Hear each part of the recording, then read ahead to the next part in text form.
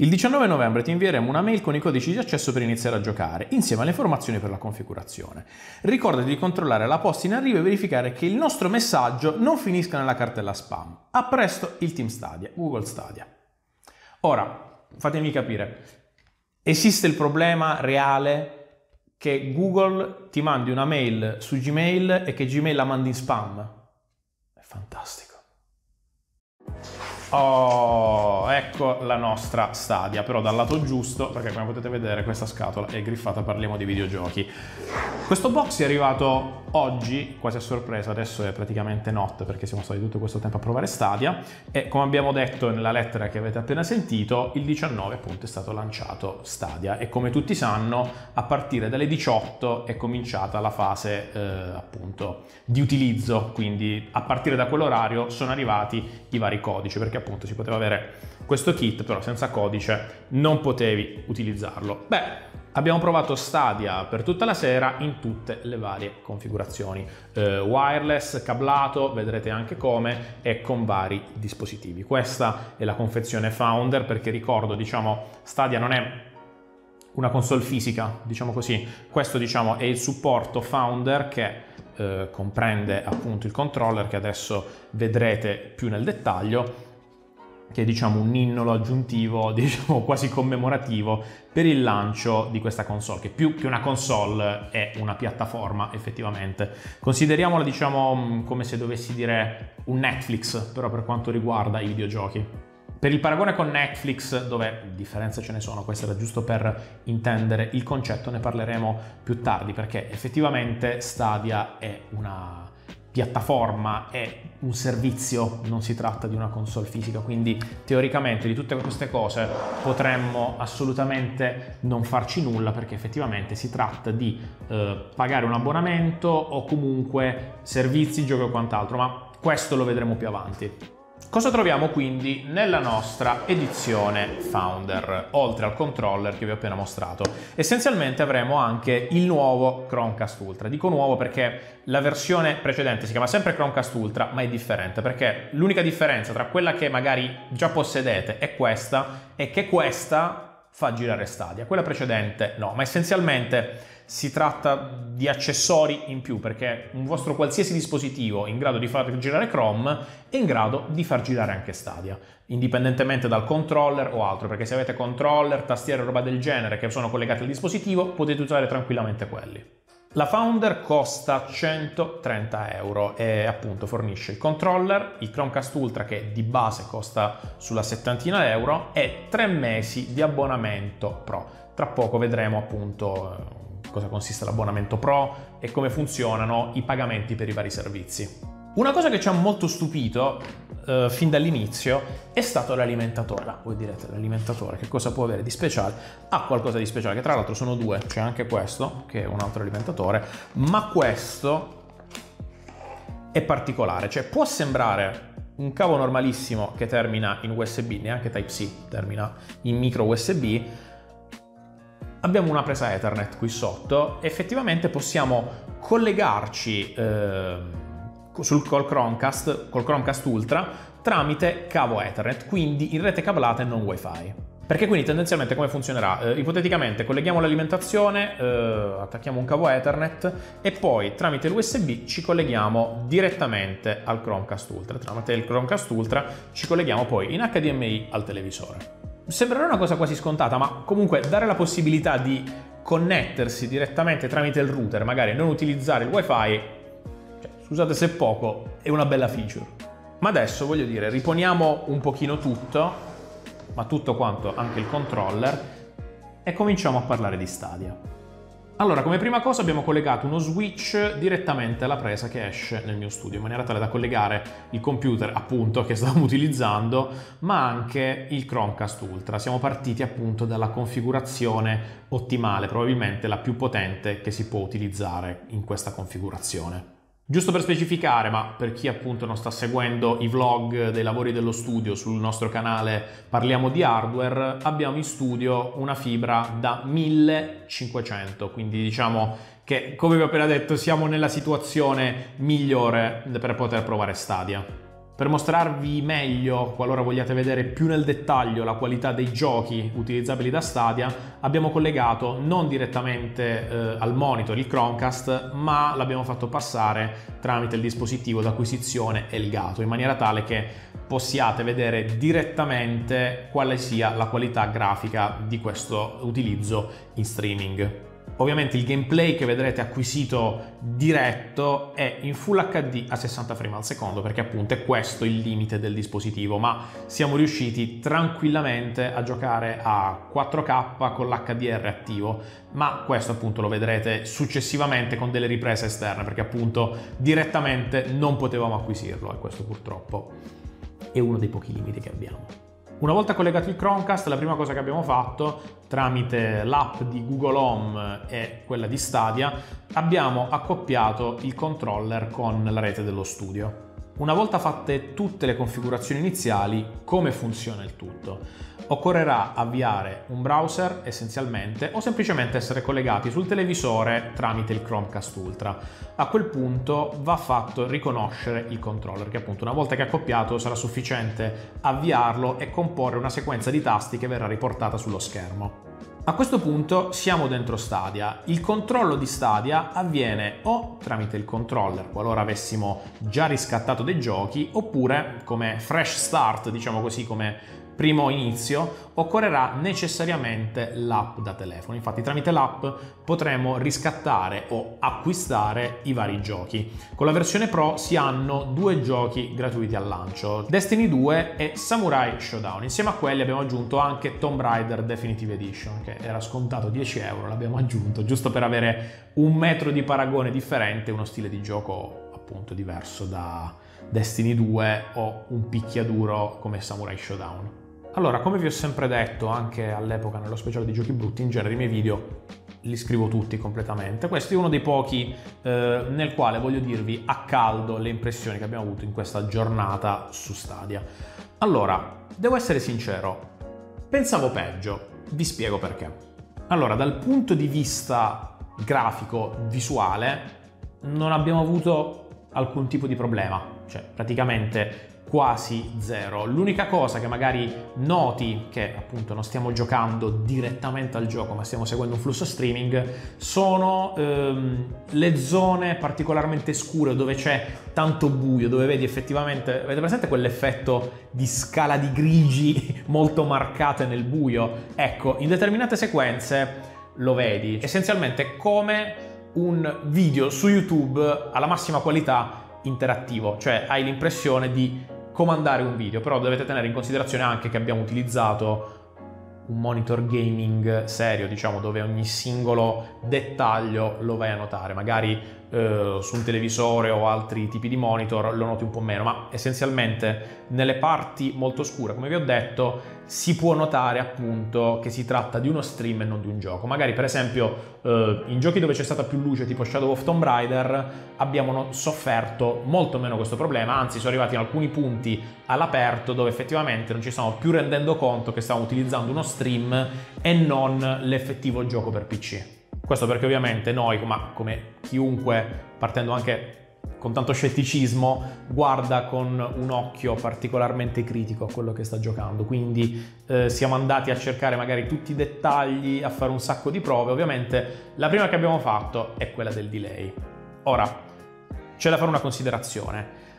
Uh, il delay è molto più basso di quel che mi sarei aspettato o comunque di quel che abbiamo provato in passato su altri servizi di streaming. Abbiamo fatto un test un po', come posso dire, empirico, cioè molto mm, istintivo, dove praticamente abbiamo provato a spostare tipo flick eh, la grafica all'interno di un gioco in prima persona e qui infatti vi sto mostrando la differenza di Destiny 2 su Stadia con eh, l'ultimo Call of Duty però non in streaming e versione PC in maniera tale da darvi un'idea di quanto lag ci sia.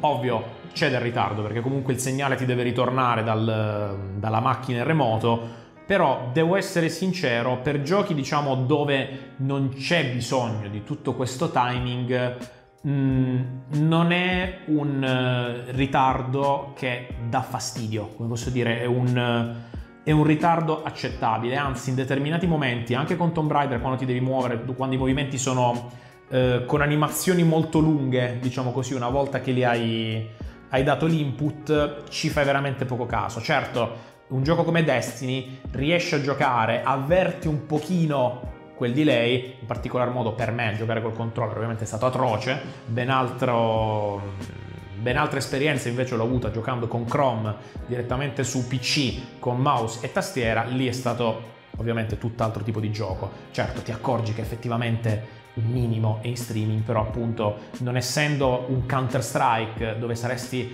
appunto un cretino a pretendere di giocare ehm, in, mani- in, maniera, non so, professionale per dire eh, vado online, spacchi quelle persone con Stadia su Counter Strike, no, è completamente sbagliato, cioè qualsiasi cosa che ti richieda timing e input lag rasenti lo zero Raga, Stadia, lasciate completamente perdere. Cioè, qui si tratta semplicemente di un sistema in grado di farti godere giochi ehm, pur non avendo l'hardware per farli giocare, comunque in qualità alta. Cioè, il vostro unico requisito è avere una linea buona. Ovviamente inserire qui sotto nei commenti battute su io abito qua, là, la linea non arriva, a me funziona così, ecco là. Però di base si tratta di questo. E poi anzi ne parleremo, perché non è che stiamo dicendo le cose così, eh vabbè, ma tu grazie al cazzo stai utilizzando nello studio tuo che c'è quello e quell'altro. No, perché chi sta nel gruppo Facebook di Parliamo di videogiochi si è trovato davanti un sondaggio in tempi non sospetti, moltissimo tempo fa, dove abbiamo raccolto eh, i vostri risultati degli speed test di Stadia, le vostre esperienze, cosa vi aspettate, cosa non vi aspettate, dove abitate, dove non abitate. Abbiamo fatto tutto dati alla mano, state tranquilli. Il suddetto sondaggio l'abbiamo condotto su di voi, eh, ossia le 2000 persone che ringrazio vivamente che hanno partecipato appunto alla nostra indagine nel gruppo di Parliamo di Videogiochi. Se vi interessa il gruppo lo trovate qui sotto in descrizione, così come i risultati.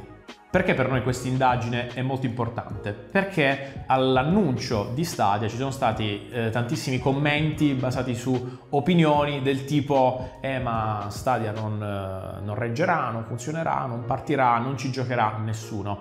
Per avere un'idea migliore abbiamo scelto il pubblico o comunque l'utenza migliore che potesse valutare una cosa del genere, cioè voi, non andando a pigliare magari la gente in mezzo alla strada, come diceva prima Max, era al circolo della terza età, a chiedere ma tu Stadia lo useresti? No, effettivamente voi siete il pool di persone adatto per rispondere a dei quesiti di questo tipo.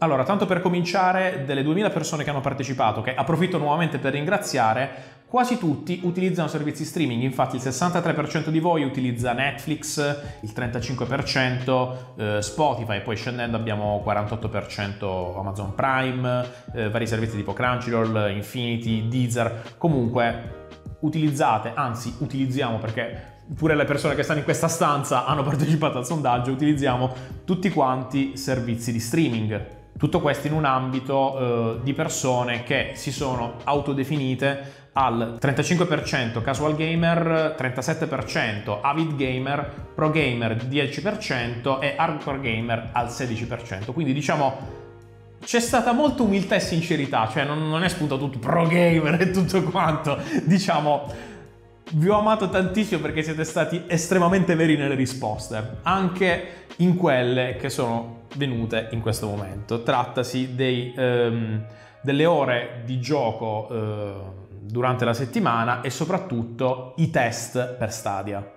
Per quanto riguarda le ore di gioco abbiamo ottenuto una media di circa 25 ore a settimana, vabbè abbiamo avuto pure qui gli esagerati che hanno messo 70-80 ore, però diciamo si tratta di casi ehm, a parte. In statistica si chiamano? Outlayer. Ah, outlayer, esatto, sono outlayer. Ma i dati più importanti di questa indagine, ovviamente, dato che si tratta di Stadia, riguardano la linea. Ovviamente la prima domanda era dove abitate? il 34% di voi abita in un grande centro urbano, 55% abita in paese, il resto in una piccola comunità. Quindi tendenzialmente eh, quasi la metà, anzi più della metà di voi abita in paese. Di questi abbiamo tratto un altro dato importantissimo. In genere, ogni volta, allora Mauri, ogni volta che prendiamo un, un video magari di un router si mette in ballo la linea, cioè come se tu tirassi fuori non so, l'anima dalle persone. Eh, I commenti sono sempre, eh, ma io se vedo un, una cosa che va oltre lo zero sulla mia linea è una gran cosa e roba del genere, insomma, c'è un sacco di, di blaming sulla propria linea. E infatti, sta cosa ci ha sorpreso perché ben il 57,5% di voi è soddisfatto della propria linea, non è soddisfatto il 34%, il resto, il 7%, non saprebbe valutare. Quindi è andata completamente contro le nostre aspettative. Premettendo che tutti questi grafici e tutti questi dettagli che vi sto dando li trovate qui sotto in descrizione con i risultati della nostra indagine, essenzialmente più della metà di voi ha linee da 10 o 50 megabit, tutto il resto si divide quasi perfettamente tra chi sta peggio e molto peggio e chi sta meglio e molto meglio, ovviamente di quel range 10-50 che vi ho detto prima. Infine, cosa interessante, siete interessati a Stadia? Il 56% aspetta nuovi sviluppi, 22% no, 21% sì. E altra domanda ancora più interessante, quasi come questa, pensi che lo streaming sia il futuro del gaming? Quasi tutti scettici, 48% lo sarà per alcuni tipi di generi, sì 29%, no 21%. Al contrario appunto di molte voci e opinioni che si sentivano appunto al lancio. Al lancio, scusate, il lancio è oggi, all'annuncio. Detto questo, mettiamo da parte i sondaggi e tiriamo un pochino di conclusioni che diciamo sono relativamente semplici da tirare perché appunto non si tratta eh, di testare un gioco, un prodotto, ma un servizio, quindi si tratta di esperienza e all'atto pratico cosa abbiamo tra le mani, anzi tra le mani diciamo forse sbagliato, nel cloud, ecco, cosa arriva attraverso la nostra connessione. Stadia è un servizio che ha un solo requisito importante, la velocità della vostra linea, quindi eh, non c'è per la prima volta da badare all'hardware, che periferici utilizzate, ma solo ed esclusivamente alla linea. Um, il massimo diciamo di banda che può utilizzare Stadia anche dopo le nostre prove così come state vedendo sono uh, 40 megabit quindi anche se avete una linea per dire 100 megabit siete completamente a posto. Per linee inferiori non è che non arrivate magari ai requisiti, ma non potrete giocare al massimo della qualità, perché in quei 40 megabit eh, si intende raggiungere i 4K e l'HDR, cioè quindi il massimo della qualità raggiungibile. Quindi se state in Full HD siete giocatori a 720 o comunque avete monitor 720 o comunque la linea vi permette di arrivare a 720, potete comunque giocare, ma appunto a quella qualità video. C'è da fare una precisazione, così come per Netflix, appunto questo è un paragone che si può fare, eh, per ottenere un gaming a 4K abbiamo bisogno dell'abbonamento Pro che sarà disponibile in futuro per chi non ha acquistato una Founder, perché al momento gli unici possessori di un account Pro è chi è riuscito ad acquistare una Founder Edition. In cosa consiste un account Pro? Potete utilizzare appunto il 4K e l'HDR, quindi se avete monitor o televisori 4K ben venga, oppure potete avere buoni sconti sui giochi. Ed è proprio su questo punto che non ci siamo trovati d'accordo. Stadia ci ha fatto un po' storcere il naso. Qui veniamo anche al motivo per il quale non si può paragonare completamente Stadia a Netflix, perché con un sistema tipo Netflix paghi un abbonamento e ottieni tutto il catalogo, per esempio di Netflix, di Hulu, di Amazon Prime. Con Stadia no. Col Pro non hai diritto a tutti i giochi, come vi abbiamo detto, hai diritto magari a eventuali giochi gratuiti che ti danno oppure degli sconti, perché i giochi comunque li devi acquistare, sconti o non sconti. E qui arriviamo a qualcosa di un po' controverso, perché effettivamente se tu devi accedere a un servizio del quale paghi un abbonamento, tra l'altro un extra per avere il Pro, vorresti qualche servizio un po' più consistente. Vedete per esempio, non lo so, con 10 euro al mese di Xbox Pass hai diritto a 100 giochi, quindi un catalogo di tutto rispetto, mentre appunto con Stadia questi privilegi non ce li hai, eppure stai pagando un abbonamento. Il problema di fondo qual è? Eh, se una persona parli di streaming, mo, torniamo per l'ennesima volta al cacchio di Netflix, uno pensa, pago l'abbonamento, con l'abbonamento ho accesso a tutto il catalogo, non è che magari faccio noleggia film là, prendi quello e tutto, tu paghi un fisso e vedi tutto, quindi il mondo, cioè non soltanto noi magari che abbiamo, che possiamo dire, eh, abbiamo le linee così, siamo in Italia e tutto, non siamo questo e quell'altro, il mondo si aspetta un servizio completo. Purtroppo far pagare un abbonamento e aggiungere anche l'acquisto di giochi da utilizzare, diciamo, non magari in maniera fisica, non che ce l'hai tu, ma utilizzarli in streaming, molto probabilmente è un concetto che all'utenza non piacerà. Cioè, a noi per esempio non è piaciuto. Potremmo, anche sbagliarci, ma allo stato attuale, per come a livello concettuale è impostato il servizio abbonamento streaming, in questo modo non può funzionare. Porca miseria, sì, stai utilizzando un servizio di Google, porca miseria, identificatemi un concorrente di Google in grado di fare questa operazione mastodontica in termini di linea e calcolo, ma allo stato attuale non ci siamo a livello cont- concettuale proprio e poi voglio dire non penso che appunto Google stessa non sia in grado di avere uno potere contrattuale, due creare dei buoni deal magari con i produttori di giochi, eh, con i distributori e così via per poter proporre qualcosa di migliore ai suoi utenti. E tra l'altro, piccola aggiunta fresca perché di due o tre giorni fa, Microsoft, eh, quando appunto è stato annunciato anche Geo Empires, quello nuovo, il 4, siamo in hype da morire, aperta e chiusa parentesi, ehm, ha annunciato che il suo servizio di gaming in streaming sarà incluso nell'Xbox Pass che vi abbiamo citato prima. Quindi diciamo che la battaglia è aperta, quindi anche qui eh, abbiamo visto di recente appunto Steam ed Epic Store battagliarsi su determinate cose, aspettiamoci più o meno la stessa cosa con questi nuovi servizi di streaming per i giochi.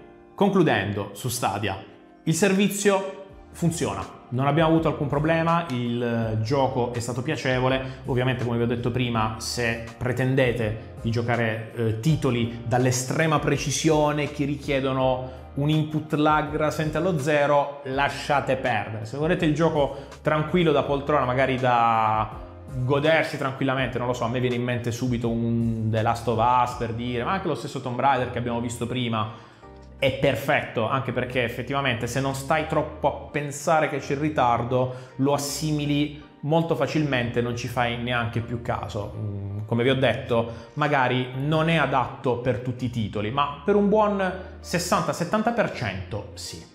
Poi comunque c'è da premettere una cosa, vi ho parlato di Stadia al day one, è giovane, Stadia ha tutta la vita davanti, cioè arriverà il 2020, poi ci sarà un motivo per il quale tutti i più grandi produttori si stanno buttando sul game streaming, cioè ci sarà qualcosa alla base che li ha mossi tutti quanti, cioè non è che questi prendono e buttano soldi su qualcosa, oddio, succede, eh? però quando lo fanno in massa tutti quanti e lo fanno dei colossi, c'è da chiedersi perché l'hanno fatto e se l'hanno fatto non lo fanno per bruciare soldi, ma perché ci sono degli interessi reali.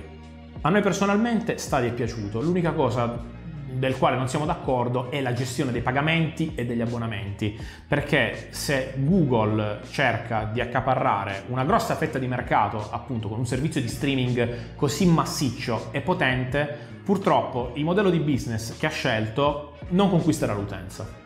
Quindi, in conclusione, in questa lettera che mi hai mandato, dove hai scritto eh, sì, tra i primi giocare, condividi il tuo unboxing e le tue prime impressioni di gioco con i tuoi follower, le mie impressioni sono cambiate i termini, offrite qualcosa di diverso e pensate a qualcosa a livello strutturale differente, perché appunto pagare un abbonamento e poi acquistare i giochi è un tipo di sistema che non può funzionare, almeno oggi eh, con la mentalità attuale e con i servizi al quale è abituato l'utente, Stadia non può esplodere.